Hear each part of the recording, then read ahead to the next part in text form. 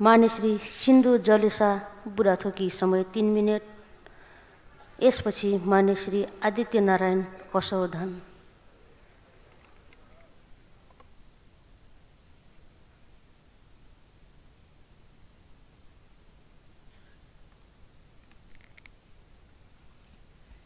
सम्माननीय सभामुख महोदय यति बेला जरुरी सार्वजनिक महत्त्वको प्रस्तावमाथिको छलफल चलिरहेको छ।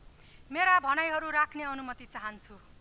माननीय भीमराव रावलज्यूले प्रस्तुत गर्नुभएको प्रस्तावलाई जोडदार समर्थन गर्दछु।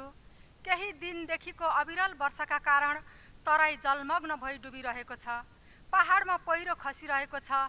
देश अस्तव्यस्त र रोइरहेको छ। अहिलेसम्म एक सय पैँतिसजना व्यक्तिको ज्यान गएको छ। सयौँ बेपत्ता भएका छन् सयौँभन्दा बढी घाइते भएका छन् प्रभावित क्षेत्रका व्यापक व्यक्तिका घरहरू पूर्ण क्षति र आंशिक क्षति भएका छन्।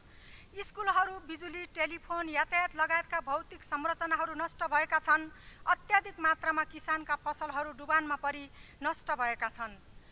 कैयौँ वस्तुभाउ बगाएको छ मरेका वस्तुभाउ र दूषित पानीका कारण महामारी निम्तिने खतरा बढ्दो छ।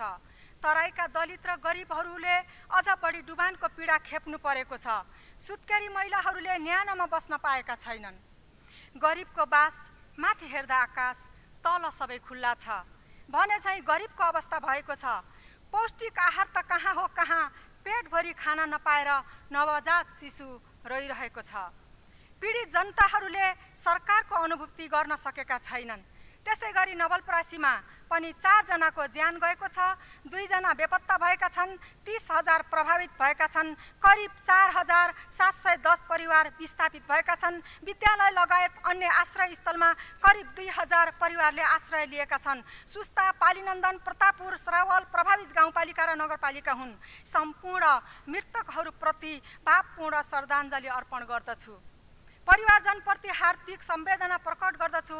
घाइतेको तत्काल उपचार पीडितको उद्धार राहतको उपलब्ध गराउन सरकारको ध्यान आकर्षण गराउँदछु। मृतक परिवारलाई रु पाँच लाख र पूर्ण क्षति भएका घर परिवारलाई रु दुई लाख उपलब्ध गराउन सरकार समक्ष माग गर्दछु। खाद्यान्न लत्ता कपडा बसोबास स्थानान्तरण महामारी नियन्त्रण गर्न नष्ट भएका भौतिक संरचना तुस्त दुरुस्त बनाउन प्रभावकारी कदम चाल्न समेत ध्यान आकर्षण गराउँदछु।